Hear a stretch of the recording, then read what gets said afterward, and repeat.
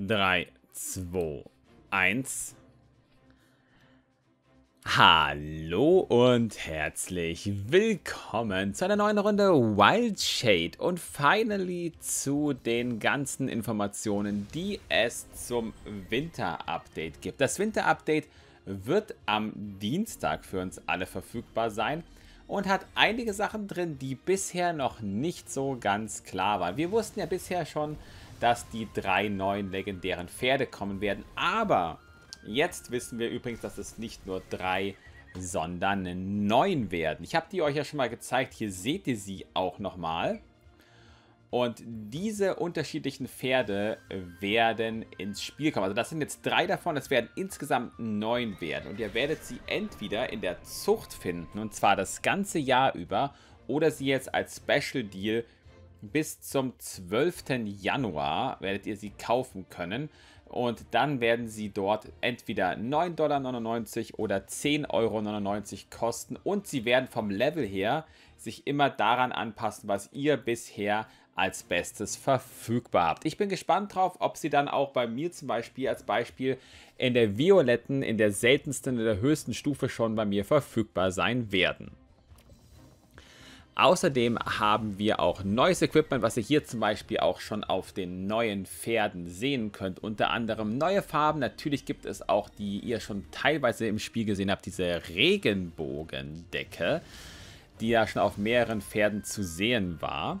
Die wird es dann da auch nochmal zu organisieren geben. Und dann wird es zwei neue Strecken geben, nämlich Snowdrift und Sunrise Show, was so viel wie Sandbank in der Art heißen wird. Also es wird sogar eine Schneestrecke und eine Sand, eine so eine Coaststrecke, eine, hm, wie sagt man, Küstenstrecke, eine Strandstrecke, so eine Meeresstrecke in der Art geben werden. Dann wird es natürlich dazu auch nochmal ein Starterpaket geben, in dem ihr für einen vergünstigten Preis direkt dann auch schon alles Mögliche an Starter-Equipment bekommen wird. Was wir genau da drin haben werden, werden wir dann aber noch final sehen. Dann zu werden jede Menge neue Namen ins Spiel kommen werden und auch die Möglichkeit, eure Pferde jetzt mit Einzelnamen zu betiteln. Also ihr könnt dann jetzt finally auch, wie ihr hier schon sehen könnt, nochmal euren Pferden Solonamen geben, was ich total cool finde, weil ich das eigentlich immer eine sehr geile Funktion auch schon damals bei anderen Spielen fand. Dazu wird es einen Winter Loading Screen geben, also der Ladescreen am Anfang wird dann winterlich angepasst und auch die Musik wird in einigen der Rennstrecken angepasst werden. Das sind soweit die Sachen, die neu ins Spiel reinkommen werden. Dann wurden jede Menge Sachen auch geändert. Unter anderem auch, dass am Ende nochmal so richtig angezeigt wird, wie viel Mooncoins ihr bekommt. Der Namensgenerator wird ein bisschen verbessert. Die Seltenheit der Equipments wird nochmal angepasst. Also, dass ihr dann nicht mehr seht, dass ihr am Ende was Grünes bekommt, was eigentlich dann schon Seltenheit lila sein sollte. Und dann auch nochmal bei Holiday Island, bei dieser Urlaubsstrecke, wird auch nochmal da dann der, das Musikstück angepasst werden. Und wenn ihr jetzt etwas von höherer Seltenheit verkauft, wird das jetzt dann final auch rot angezeigt werden. Und ihr werdet auch nochmal am Ende eine zusätzliche Sicherungsfunktion bekommen, wenn ihr etwas dann verkauft. Nämlich bekommt ihr dann auch nochmal den Sell-Button, den ihr dann nämlich auch nochmal zwei Sekunden lang drücken müsst. Also es ist dadurch deutlich unwahrscheinlicher, irgendetwas aus Versehen zu verkaufen.